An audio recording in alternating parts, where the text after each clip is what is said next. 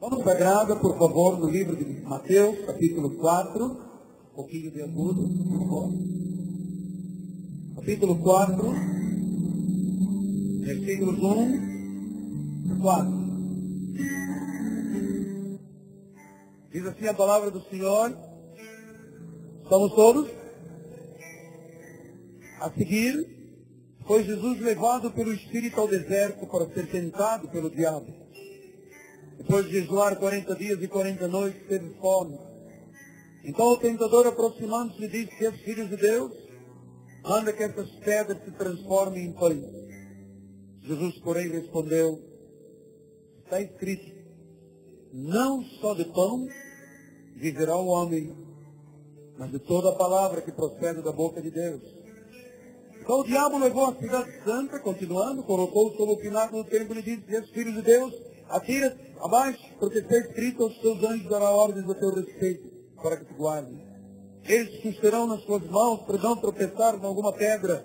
Respondeu Jesus, também está escrito, não tentarás ao Senhor teu Deus. Levou indo o diabo a um monte muito alto. Mostrou-lhe todos os reinos do mundo e a glória deles. Ele disse, isso tudo te darei se prostrado me adorar. Então Jesus lhe ordenou, retira-te, Satanás, está escrito, ao Senhor teu Deus adorarás e só a ele darás culto. Com isso, o deixou o diabo. E eis que vieram anjos, anjos, anjos, e o serviram. Que essa palavra abençoe os nossos corações. Oremos a Deus. Tá bom. Senhor Jesus Cristo, eu acredito que Tu estás neste lugar. O nosso ministério tem olhos iluminados e a sensibilidade para compreender que quando a noiva de Jesus se reúne, Ele honra, Ele está presente. Então fala-nos, ó oh Deus, sobre proteção divina. Torna isso claro nas nossas mentes e dá-nos a convicção, em nome de Jesus. Todo o povo de Deus, diga amém. Amém. Meus amados irmãos, minha família, santos preciosos de Deus. Vivemos um tempo muito interessante e importante para a vida espiritual. Um tempo em que precisamos de ativar a nossa fé para que a divina, sobrenatural e espiritual proteção de Deus venha dos altos céus para a nossa vida. É tempo de estarmos alerta. É tempo de entendermos que laços do passarinheiro, peste perniciosa, pragas, setas, são coisas costumeiras na vida da nossa cidade e do nosso país. Você tem visto, que o apóstolo tem mostrado, que essa série de mensagens é absolutamente necessária, porque a escalada da violência em todos os níveis sociais está aumentando. Porque para mim, salário mínimo no Brasil é uma violência. Então, quando eu comecei a ler esse texto aqui, eu sempre me perguntava, qual a razão de estar na Bíblia Sagrada um texto em que Jesus, o Deus Criador dos céus e da terra, é levado ao deserto, passa fome, é tentado pelo próprio diabo. Eu estava perguntando a Deus qual a razão dessa passagem bíblica. E Deus estava me mostrando alguns fatos. Em primeiro lugar, nós vamos ver aqui que Jesus era 100% Deus, mas era 100% homem. Nós estamos aqui perante a humanidade de Deus. Fome, foi tentado, foi ao deserto. Todas as situações que qualquer ser humano pode passar ou enfrentar. Então Deus na sua humanidade, quis mostrar aos homens que eles poderiam efetivamente passar por situações de tentação, de provação, de dificuldade, confrontações e enfrentamentos com as adversidades diabólicas dessa terra. Foi a primeira coisa que Deus me mostrou. A segunda coisa que o Senhor me mostrou é que só existe uma forma de reagir contra as adversidades diabólicas. Veja você, meu amado irmão, minha amada irmã santa de Deus, três vezes seguidas o tentador veio. Ele veio a primeira vez e disse, olha, Mateus 4, faz com que essas pedras se transformem em pães. Jesus respondeu, está escrito, não só de pão viverá o homem. Três vezes o espírito maligno veio tentar o próprio Deus na sua vida humana. Três vezes Jesus mostrou à sua igreja como deve ser a reação perante as adversidades. O que, que ele fez? Ele não fez uma cruz cordeiro. Ele não pegou uma cabeça de alho e disse, agora vou para o cemitério. Ele não correu para colocar um gnomo, ou uma pirâmide, ou um cristal. Não. Você sabe qual foi a posição do Senhor? Que é o segundo fato que Deus quer que nós saibamos. Ele simplesmente disse, está escrito. E veja que Satanás voltou a segunda vez e disse assim, olha, manda para aqui abaixo, atira para aqui abaixo, porque eles se susterão e dá ordens a ter respeito para que os anjos se sustentem. Olha, Satanás invocou o Salmo 91. Ele estava usando o Salmo 91, que significa o quê? Que diabo também conhece a Bíblia. Bom, se fosse nos dias de hoje, todo mundo diria que não era o diabo. Está usando o Salmo 91, não é o diabo, é Deus que está falando. Terceira coisa que Deus quer que nós saibamos é que nós temos que aprender a distinguir a voz de Deus e a voz do diabo. Porque eles estavam usando o Salmo 91. Eu descobri que muitos lugares que se dizem de igreja, até templos de Ossolte, usam a Bíblia Sagrada como fosse Deus a falar, mas não é Deus que estava falando. Era o diabo que estava usando passagens bíblicas. O que que Jesus fez? Ele sacou da espada do Espírito. Veja que em Efésios 6, 17, tomai também o capacete da salvação e a espada do Espírito, que é a palavra de Deus. Então Deus sabe que quando nós começamos a confessar a sua palavra, nós estamos usando a espada do Espírito da nossa armadura. Então Jesus disse, está escrito, não você, os anjos vão te suster, está escrito, não joga essa aqui abaixo, está escrito. Ele reagiu com o poder maior que existe nesta terra, que é o poder incomensurável da maravilhosa, bendita e poderosa e viva palavra de Deus. Foi o suficiente? É o suficiente. É tudo. Agora vou lhe dizer uma coisa. O inimigo não foge daquelas palavras que você coloca, se compra, aqui nós temos a venda, se compra e se colocam na geladeira de casa. Senhor é meu pastor e nada me faltará. O inimigo não foge disso. O inimigo não foge daquele plástico que você põe no carro dizendo, posso todas as coisas. Ele não foge disso. Ele não foge daquela Bíblia aberta que nós deixamos em casa, no Salmo 91. Ele não foge dos símbolos que o cristianismo usa, as cruzes, os, os, os bonequinhos, ele não foge. O inimigo só se aterroriza quando se fala no nome de Jesus, quando se fala do sangue de Jesus, e quando se usa a palavra de Deus e a espada do Espírito. Só isso.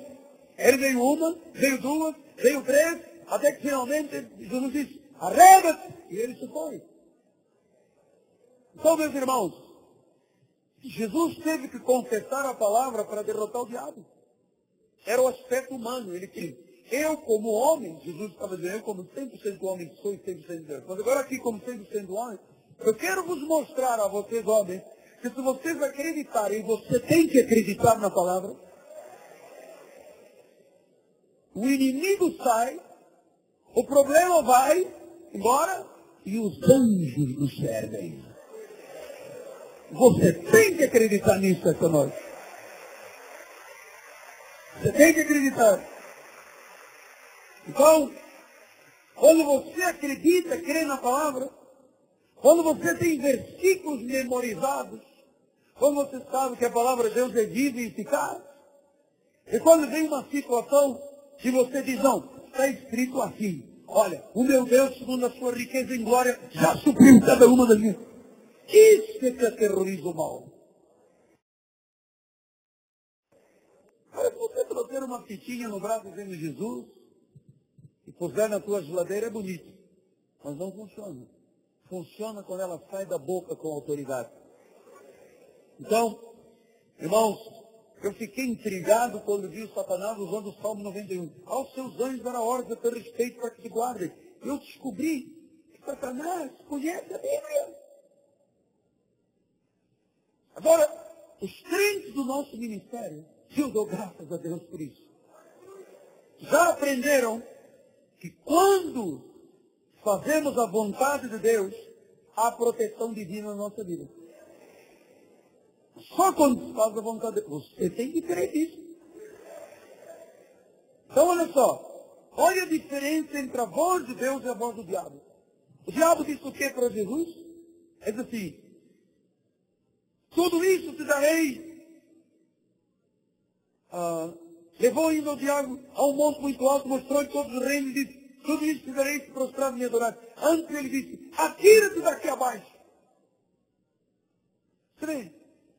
As propostas do diabo sempre são malignas e pejorativas, pois ele é o pai da mentira. Atira-te daqui abaixo, suicida. Olha, você sabe que o suicida não entra no reino dos céus nem o homicida, nem o suicida, nem o matricida, nem o parricida, nem o homossexual, nem o lésbico, não entra. Olha a proposta do diabo, atira daqui abaixo. Então, quantas vezes o inimigo ronda os nossos ouvidos assim, você tem que morrer, se morrer tudo se resolve. Mas nós não estamos aqui para ouvir a voz do inimigo, estamos. Estamos aqui para ouvir a voz de Deus. Estamos aqui para ouvir a voz de Deus. Então o inimigo diz, atira daqui abaixo. Olha a voz de Deus. Não tentarás ao Senhor teu Deus. Meus irmãos, nós temos que discernir. Há uma voz do erro e há uma voz da verdade. Então é assim que o inimigo envia as suas mentiras. Por isso é que Jesus disse em João 3, 10, 13 e 27. Para este o porteiro abre as, abre, as ovelhas ouvem a sua voz, ele chama pelo nome as suas próprias ovelhas e as conduz para fora. 27. As minhas ovelhas ouvem a minha voz. Não ouvem a voz daquele que diz, tira aqui abaixo, me adora. Quanto Satanás daria e dá para ver um crente adorá-lo, batendo cabeça? A maioria das pessoas romanas, sexta-feira, estão batendo cabeça no centro de macumba. O Satanás diz, me adore. Eu vou te dar isso, eu vou te dar aquilo. Irmão, o único pode dar tudo bens duráveis é Jesus. Ah, se você me adorar, se você raspar a cabeça, catular a língua, o braço sobre a cabeça o peito, eu vou te dar um marido novo, eu vou te dar uma esposa nova, eu vou fazer você ganhar na loteria espiritual. O quê? O salário do pecado é a morte. Não acredito nessa voz equivocada. Acredito na voz de Deus que diz, quem me honra, quem me ama, eu honrarei, eu amarei. Então, Jesus usou a palavra, a espada do Espírito. Ele disse, olha, está escrito. Então é preciso que você, esta noite, acredite no que está escrito. Que a única forma de correr com o inimigo foi dizer, está escrito. Jesus não lhe atirou uma vela de 15 dias, escrita de cabeça para baixo com a unha do dedo esquerdo. Não fez isso. Ele não pegou um pó de perlim-pintim e jogou nele. Ele não pegou areia do cemitério. Ele não fez uma corrente de 70, os 70. Ele não foi para três noites de sexta-feira. Ele disse, está escrito.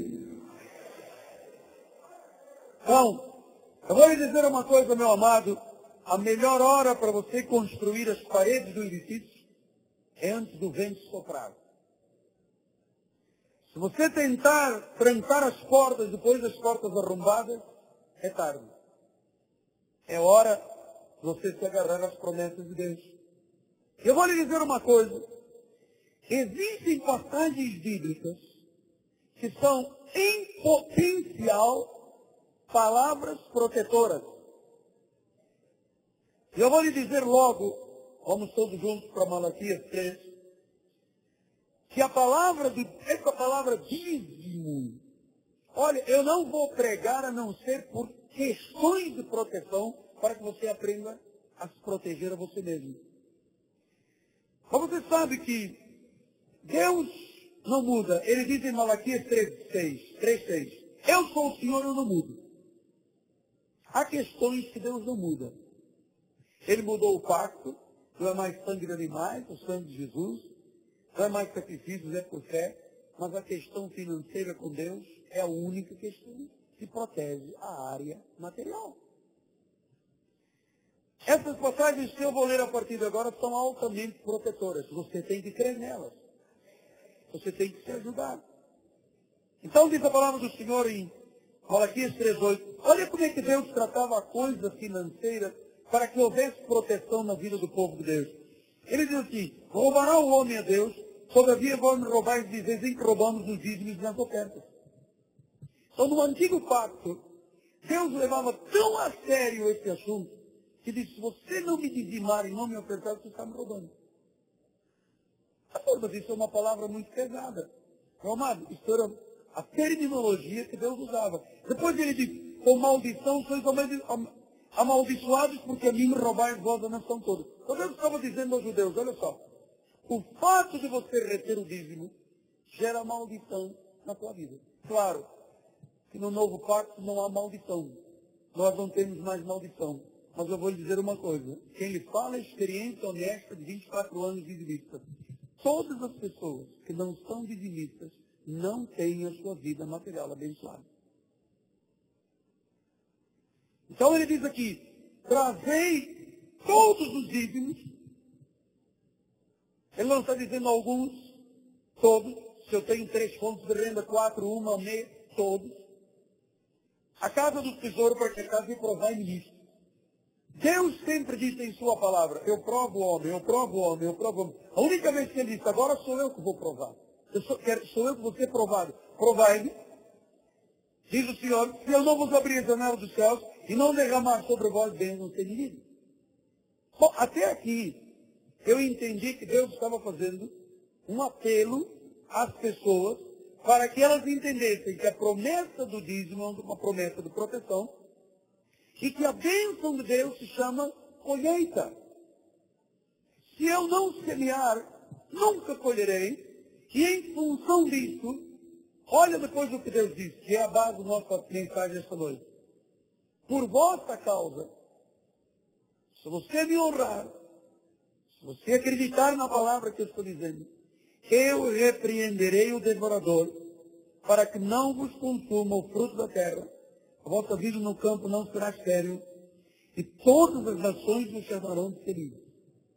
Então, eu estava um dia desses preparando a mensagem, eu disse, Deus, como é que o devorador entra na vida das pessoas?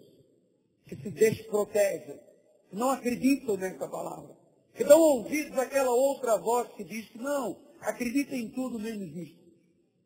Tragédias, calamidades, misérias emergências, situações, adversidades, sempre tendo vitória e vitória. Pastor, tinha um comércio, mas me roubavam, me faziam, lá está o devorador. Pastor, uma doença, já me levou não sei quanto. Lá vai o devorador. E o devorador está na vida de todas as pessoas que não dão ouvidos à voz de Deus. Não se protegem. Então ele diz, por vossa causa, pela fidelidade, eu repreenderei o devorador. Deus está dizendo, por vossa causa, eu vos protegerei. Irmãos, eu vou lhe dizer uma coisa, coisa triste é um homem e uma mulher não terem dinheiro, porque o gafanhoto leva tudo.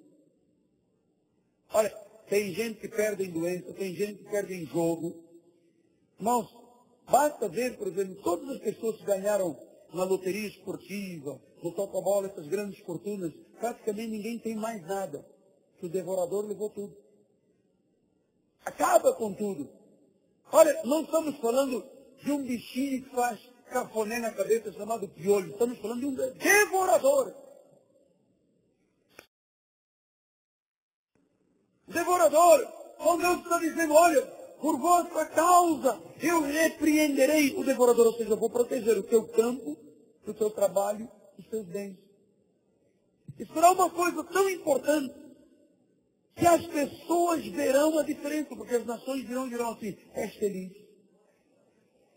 Meus amados, as leis de Deus funcionam a todos os níveis. As janelas do céu se abrem, bênçãos sem medida vêm, se o devorador estiver repreendido. Senão ele consome o fruto. O que é o fruto da terra? É o trabalho. Olha, coisa horrível é uma pessoa trabalhar, trabalhar, trabalhar, levanta cedo, deita tarde, marmita, ônibus, trem, tiroteio na cidade e depois nunca sobra nada. Porque o raio do devorador, como dizem os portugueses, está sempre cutucando a vida da pessoa. Então ele diz, eu repreenderei o devorador. E quando Deus diz, eu repreenderei, nós vamos repreender, usando as palavras dele, pelagiando-o, porque ele permite assim, mas na realidade é Deus mesmo quem faz essa obra. Ou seja, que quando você separa as premissas da tua reina, o teu dízimo, da tua oferta e traz a casa do Senhor, para que a casa do Senhor faça a obra de Deus, primeiro, você está se defendendo a você mesmo, você está se cuidando a você mesmo, você está se protegendo a você mesmo. Porque o devorador, irmãos, eu vou lhe dizer uma coisa. Se ele não é repreendido, se o devorador não é repreendido, a pessoa sofre muito. E olha, quando você é fiel a Deus, a sua fidelidade se manifesta como? Como eu disse há pouco, na salvação de almas. Pessoas que são curadas.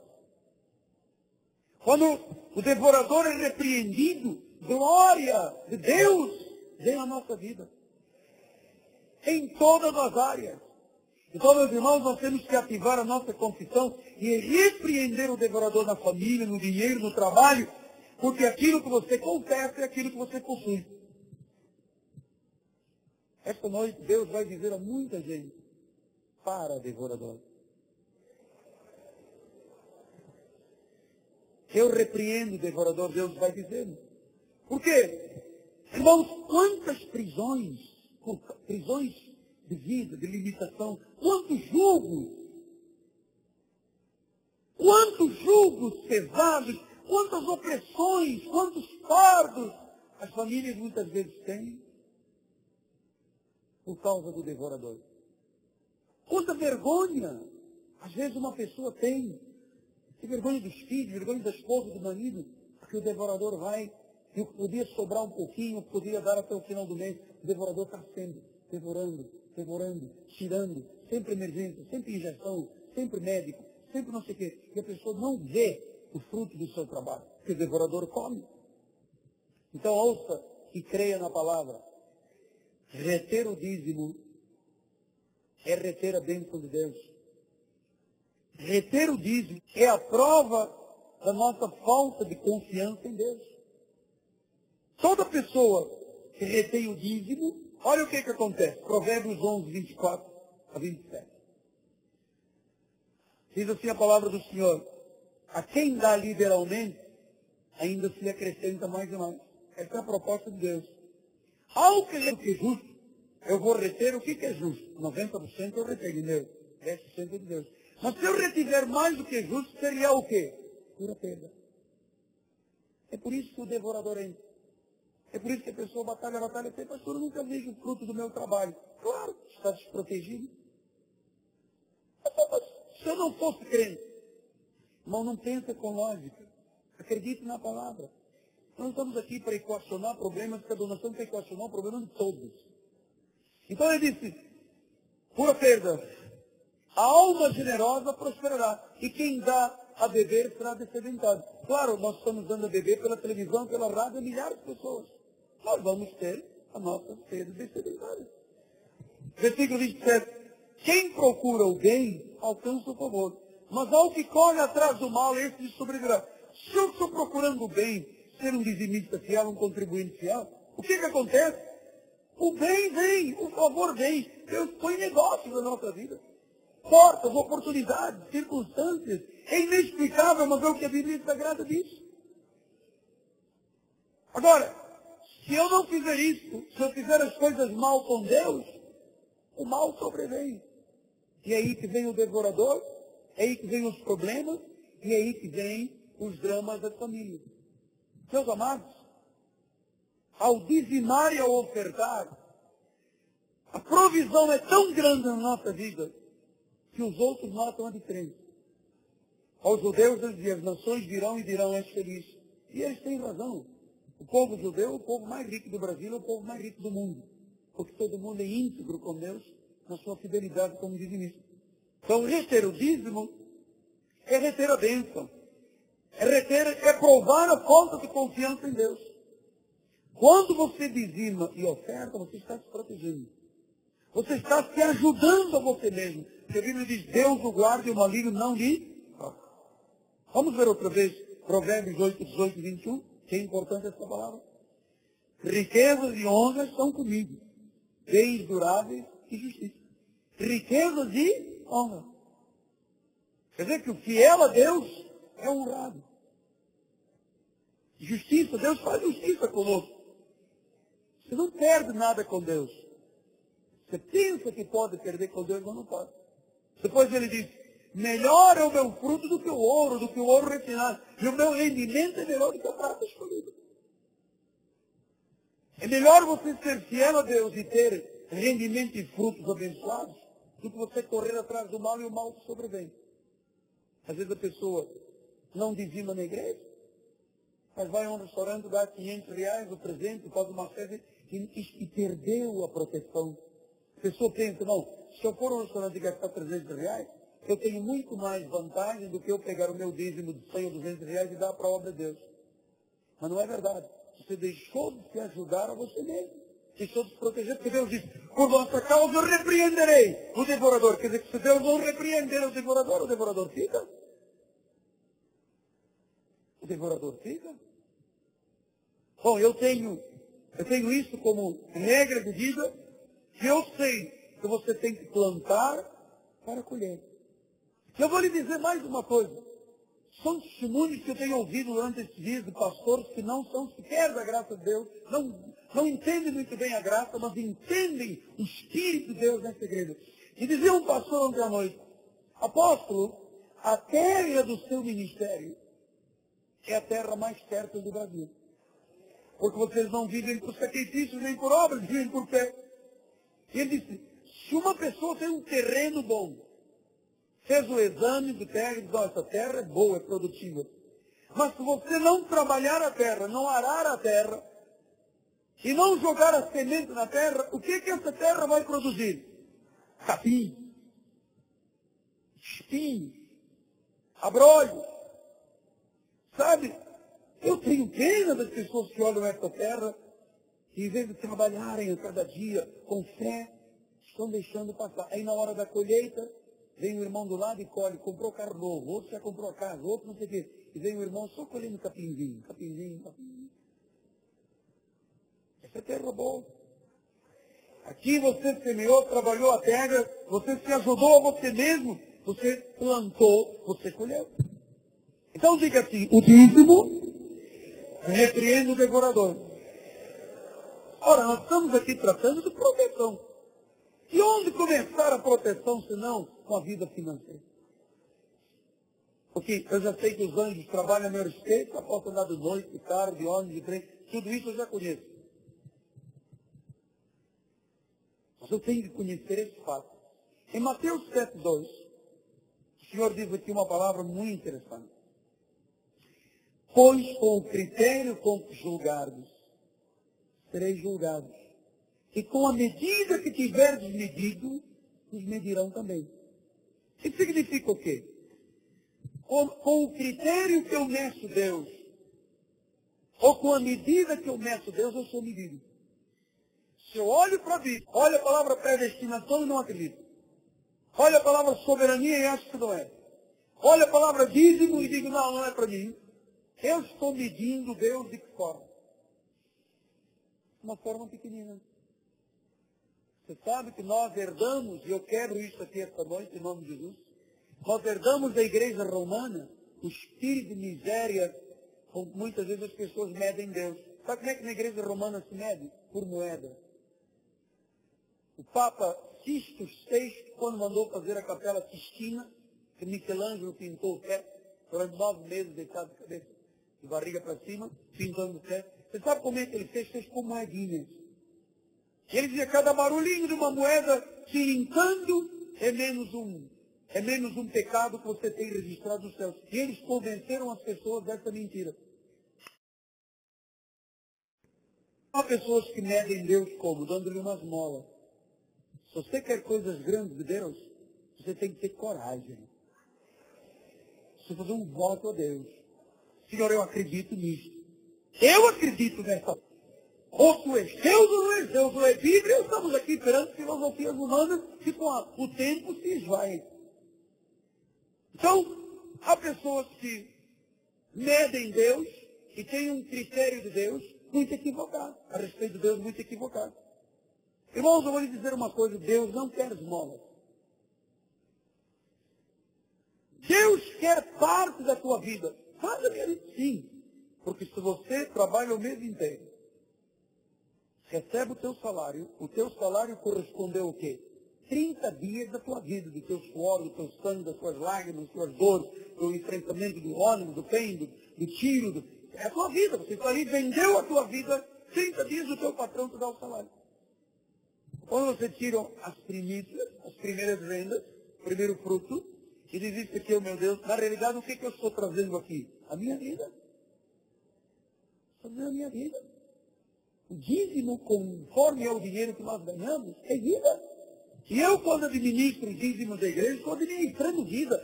Suor, sangue, lágrimas, dores, angústias. Mas eu estou sabendo que é daí que vem a provisão e o devorador é derrotado.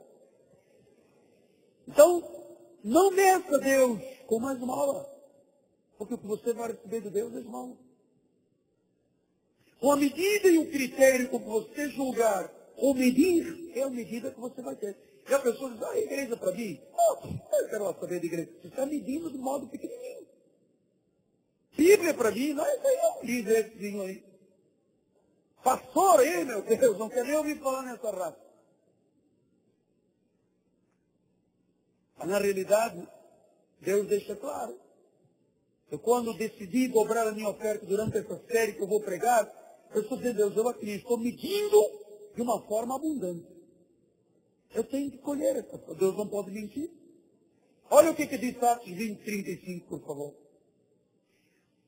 Tenho-vos mostrado em tudo que trabalhando assim, é mistério socorrer necessidades de recordar as palavras do próprio Senhor Jesus mais bem-aventurado, mais feliz é o quê? Dar do que receber.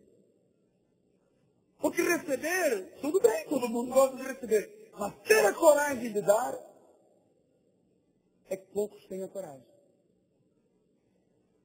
Olha, os teus negócios poderiam ser já muito maiores. Você já poderia ter a tua casa própria. Porque quando você dá o dízimo e oferta, você se protege. E mais, Deus te qualifica para você ganhar dinheiro. Você vai ter uma nova visão de vida. Você vai atrair oportunidades. Você vai atrair coisas boas. Porque você anda atrás daquilo que é bom. Porque senão, atrai coisas más quando a pessoa anda atrás do mal. Você precisa de acreditar naquilo que o Espírito está dizendo à igreja esta noite. Para você colher, você tem que dar. E Deus faz o quê? Repreende o devorador. Os benefícios da fartura chegam. Ah, e você vai ter um ministério aprovado por Deus. Segundo Timoteu, segundo Timóteo 2,15. Timoteu é em espanhol. É que Timoteu é uma palavra muito preciosa. Olha o que, que diz Paulo quando escreveu a Timoteu. Procura apresentar-te a Deus aprovado como obreiro que não tem que se envergonhar, maneja bem a palavra. Então, eu procuro chegar aqui a esse altar aprovado. Eu não tenho nada que me envergonhe na vida. Nada, nada, nada, nada. Mãos limpas, coração, não tem nada que me envergonhe. Nada, nada, nada. E eu sou obreiro aprovado. Sabe o que quer dizer aprovado? É quando Deus diz, oba, muito bem. Tu és fiel no pouco, sobre o muito te colocarei. Hoje nós estamos aqui nessa igreja linda, maravilhosa, com ar-condicionado, uma catedral. Mas, irmãos, eu não comecei assim. Eu comecei num colégio, sozinho, ninguém me ajudou em nada. Deus colocou pessoas que acreditaram na minha proposta. E sabe o que, que eu fiz? Eu sempre vi Deus dizer assim para mim, Michelangelo, tu estás aprovado. Porque uma pessoa reprovada, nós que passamos por bancos escolas, de universidades, se você vê, eu comecei o curso de Direito, eram 145 companheiros atolados dentro de uma sala gigante, e gente ficava do lado de fora. Sabe quantos terminamos o curso de Direito? Doze. O resto, reprovados. Não conseguiram atingir nenhum alvo. Desistiram. Não aguentaram. Acharam que nunca ia dar. E os doze que vieram, muitos colando de mim, naturalmente. Como é que foi o negócio? Oh! Claro, eu dava cola para todo mundo. Já vou dizendo a verdade que eu gosto de ver todo mundo feliz.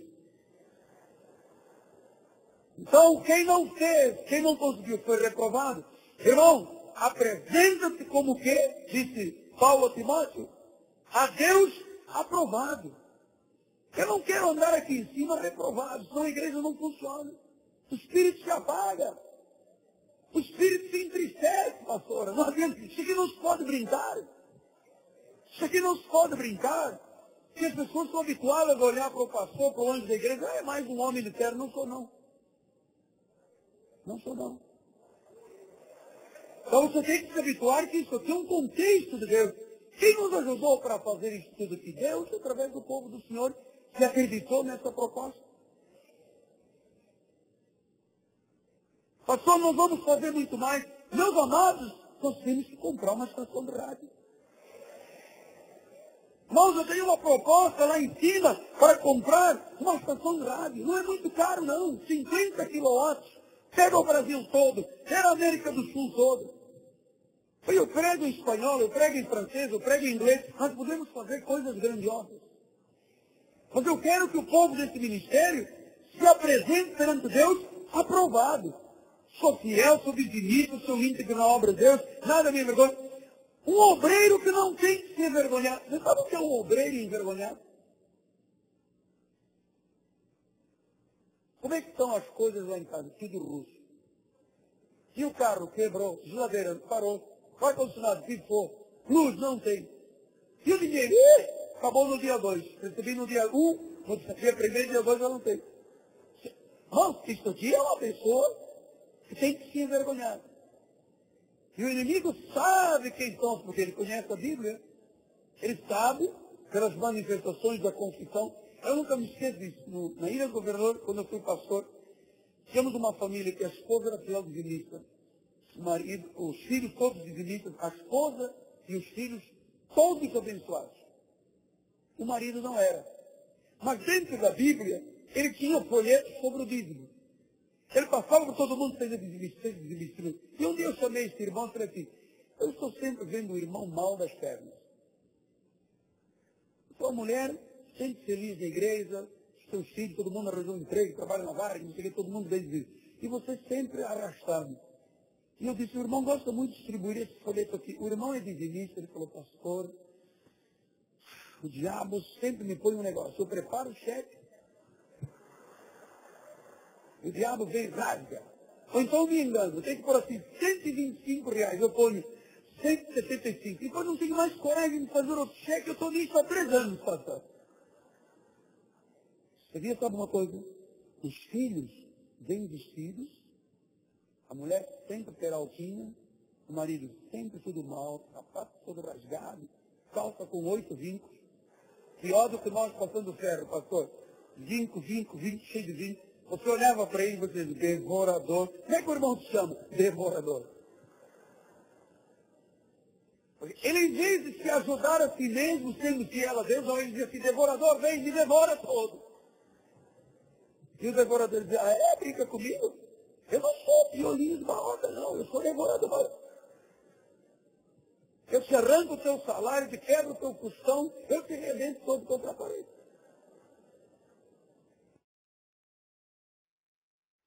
Vou dizer uma coisa. Dízimo e oferta protege, diga protege. promovem, diga promovem, prosperam e me ajudam. Me ajudam. Agora eu vou lhe dizer uma coisa. É inacreditável. Por isso Deus me disse, Miguel, tenha coragem, porque coisas vão mudar. Na... Olha, haverá gente muito abençoada aqui esta noite. É inacreditável que num rebanho tão grande quanto nós, nós somos mais de 45 mil membros, às vezes menos de 3 mil dizimam. Inacreditável quantos poucos confiam em Deus. Você precisa de acreditar. Pastor, mas eu ganho pouco. Seja fiel. Repreenda o devorador no pouco, porque Deus coloca sobre o muito. A viúva que foi lá, quando tinha um gasofilácio, ela pegou a última moeda e jogou, não tinha mais nada. Ela disse, Senhor, eu não tenho mais nada, mas eu tenho uma coisa que pode mudar o mais nada. A minha confiança em Deus. Minha confiança em Deus. Então, você precisa de acreditar que o teu dízimo representa salvação de almas, evangelização, curas, milagres. E eu queria terminar nesses minutos finais. Uma passagem que eu já li milhões de vezes, mas que hoje veio à minha mente e ao meu coração. Venha comigo, por favor, em Gênesis. Eu estou lhe falando antes de Moisés, tá? E depois já sempre semeia na mente da pessoa, não, é, atira daqui abaixo, não precisa nada. O diabo às vezes diz à pessoa assim, não dizime, que ele mesmo é o devorador. Porque quando ele diz não dizime, ele está dizendo, se você não dizimar, eu vou tirar muito mais do que o teu dízimo.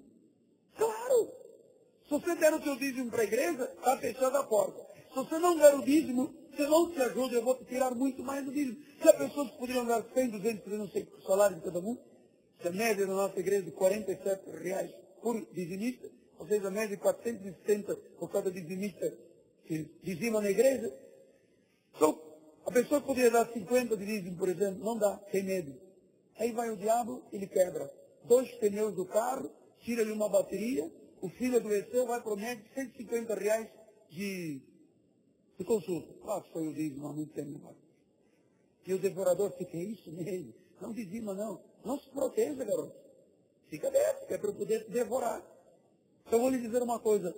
Deus está falando sério à igreja esta noite.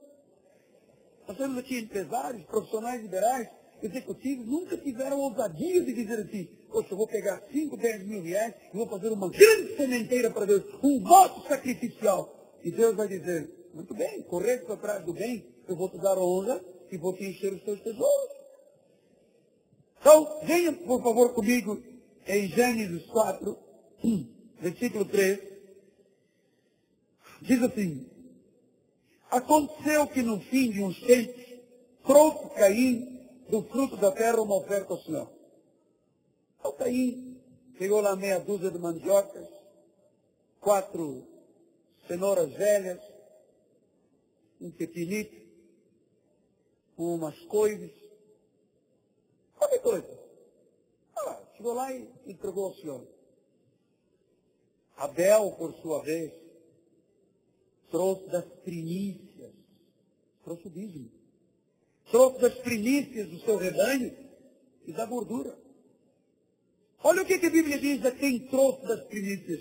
Agradou-se o Senhor de Abel e da sua então ele trouxe as primícias e trouxe mais gordura. Ele trouxe o dízimo e a oferta. E Deus disse o quê? Eu me agradei de você. Depois, ao passo que de Caim e da sua oferta não se agradou. Caim deu uma esmola para Deus. Pegou lá meia dúzia de couves tronchudas, espinafres velhos, cães de palmeiro, que aqui no Brasil se chama de palmito, que é coração de palmeira, cor de palmeira. Está num prato de farofa e diz, olha aí Deus, toma aí você, vai comer farofa. E diz que ao passo de Caim, sua fé não se agradou. Sabe o que aconteceu com Caim? Tirou-se, foi sobremaneira Caim, cheio do semblante. Então lhe disse o Senhor, por que é virado? Por que cheio o seu semblante? Agora Deus disse uma coisa que marcou a minha vida essa tarde. se procederes bem, como fez o teu irmão Abel, não é certo que serás aceito? Eu procedo bem como? Quando eu dizia, quando eu oferto, quando eu amo os meus irmãos, quando eu respeito meu pastor. Sabe tem gente aqui na igreja, trabalha aqui na igreja e não fala comigo? Ganha do meu suor e não fala comigo, não cumprimenta os irmãos, está sendo, criando problemas uns com os outros. É uma coisa terrível. Dizer, se procederes bem, serás aceito. Quer dizer, toda pessoa que procede mal, não vai ser aceita. Eu vou lhe dizer uma coisa, um recado para os pastores que eu dou essa noite. Eu recebi um telefonema há pouco de uma pessoa dizendo assim, pastor, cuidado, porque vieram comentar aqui tem uns pastores da igreja que vão entrar com ação trabalhista contra a igreja, eles dizem que além de pastores, também trabalham não sei o que, não sei o que. Bom, se procederes bem, será aceito. Se todavia procederes mal, eis que o pecado já à tua porta, o seu desejo será contra ti. Cabe a ti dominá-lo. Então, eu só deixei esse recado para vocês não intente contra a obra de Deus. Não intente contra a obra de Deus. Se você está aqui, como pastor, ganha do meu ministério, está aqui por minha causa através de Deus. Ou de Deus através da minha vida. Então, há um comentário, um zum zum, tem pessoas que dizem, não, nós vamos assistir de trabalho, nós somos pastores. Mas também fazemos isso, fazemos aquilo, fazemos aquilo. Não faça isso dentro dessa igreja. Todas as pessoas que procederam mal contra esse ministério caíram. E nunca mais se levantaram. Então Deus disse a Caim, olha, se tu procedesses bem como fez Abel, que trouxe o seu cordeirinho e trouxe a sua gordura, tudo seria bem. Mas se tu procedes mal, tu me medes como uma esmola, tu me trazes qualquer coisa, Tu me fazes uma esmola e esperas o quê? Olha o pecado aí na tua frente. Ou seja, toda pessoa que não concorda com as primícias, o pecado fica na porta dele. O pecado fica rondando a porta dele o dia inteiro. E aí vem as emergências, as tragédias, os problemas. Então, assim, cabe a você dominá-lo. Cabe a você dizer esta noite, olha, eu não quero sair daqui esta noite aberto ao devorador. Eu não quero sair daqui esta noite aberto ao devorador. Eu quero sair daqui esta noite como Abel. Que Deus disse, ele fez bem. Ele não me deu um, um animal manco, um animal cego, coxo, como Deus reclamava dos judeus que davam animais imundos de coxo e cegos. Deus disse, eu quero melhor. Eu não sou melhor para você? Sou. Então eu quero melhor. Então eu termino dizendo o seguinte à igreja de Jesus. Você tem que acreditar nessa palavra. A tua vida só prosperará se tu aprenderes que depende de uma sementeira para haver uma colheita. Ensine isso aos seus filhos, ensina aos seus netos, e você vai ver como Deus é surpreendente, como Deus honra com bens duráveis aquele que confia nele, aquele que acredita nele. Assim seja, assim disse o Senhor.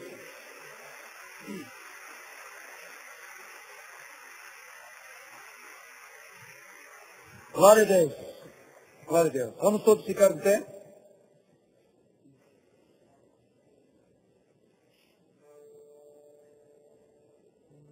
Levanta as suas mãos para o céu. Senhor Jesus, eu sei que o devorador esteve devorando a vida de muita gente, o fruto do trabalho, Pai esteve devorando o fruto do trabalho, Senhor. Fazendo até por vezes que a pessoa se sinta envergonhada, Pai. Porque o devorador vem e rouba o sacrifício de um mês de trabalho, Pai. Mas nós não vamos permitir mais isso aqui. Nós dizemos ao devorador,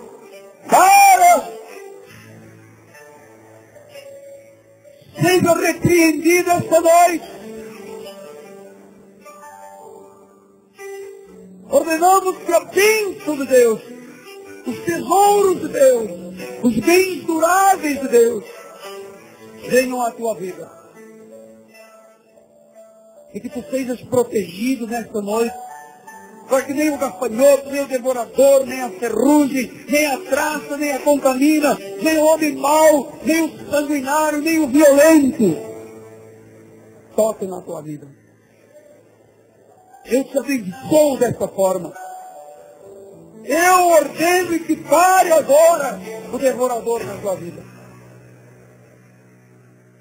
E que Deus te proporcione portas grandes que estiveram fechadas até hoje.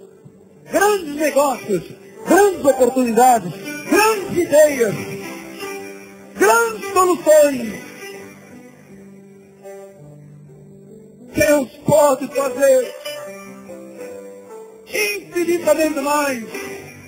Empresário, comerciante, profissional liberal, executivo, estudante, funcionário, aposentado. Deus quer que você tenha bens duráveis. E os seus lagartos se enchem. Em nome de Jesus. E que aqueles negócios que estão presos há muito tempo se desenrolem esta noite, em nome de Jesus. Aquelas causas que estão amarradas, cheias de nós, que não andam, aquela aposentadoria que não sai, aquele concurso, aquela prova, aquele negócio, venha esta noite às suas mãos de forma sobrenatural. Em nome de Jesus. Em nome de Jesus. Você receba agora coragem para nunca mais o devorador estar na tua vida, para que sejas fiel ao Senhor.